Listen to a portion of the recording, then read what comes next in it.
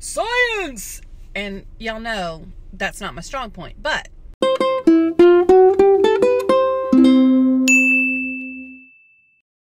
Hey y'all, and welcome to Hot Chocolate Chat. Today I'm drinking a water, and I want to talk about measurements, specifically weight.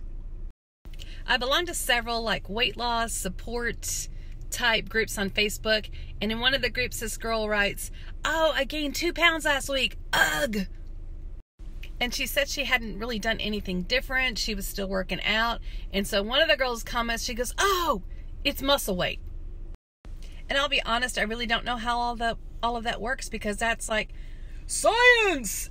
And y'all know that's not my strong point. But I just find it hard to believe that she's going to gain two pounds of muscle in like one week. I mean, without trying to like, you know, bulk up or something. Also, they added into the discussion the fact that muscle weighs more than fat. And I'm like, whoa, whoa, whoa, wait. I know that's science, science. But let me tell you, a pound is a pound in like weight and measurement stuff. A pound is a pound.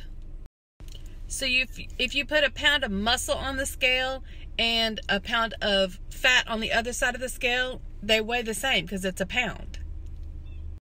Or am I missing some like obscure science rule that says that a pound of muscle weighs more than a pound of fat when they're both a pound?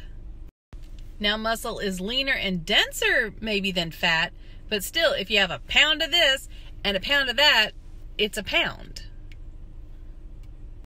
that's what I want to talk about today.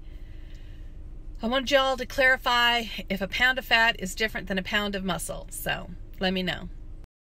If you want to stalk me on Snapchat, it's Side of Awesome. And on Instagram, YouTube, and Twitter, it's Side of Awesome 5. But just don't stalk me in real life, though, because that's creepy.